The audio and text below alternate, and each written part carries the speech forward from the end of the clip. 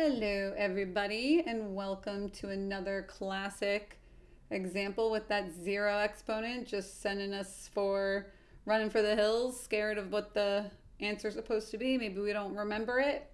And we even have that sneaky little negative out front.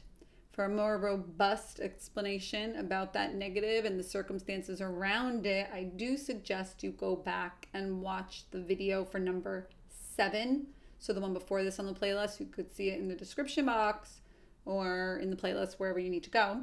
But um, I'm not writing all that down because some people will just fast forward and watch on mute to see the answer and they won't get that explanation. So, anyhow, any number to a zero power, any number to a zero power except zero to the zero power, is going to equal, drum roll, no drum roll, one so then this answer will in fact be negative 1.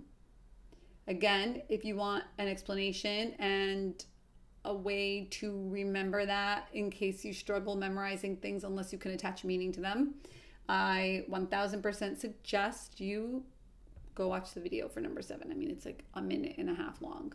What's it going to take, right? The next example should be on the screen, playlist as well. Keep calm you got this.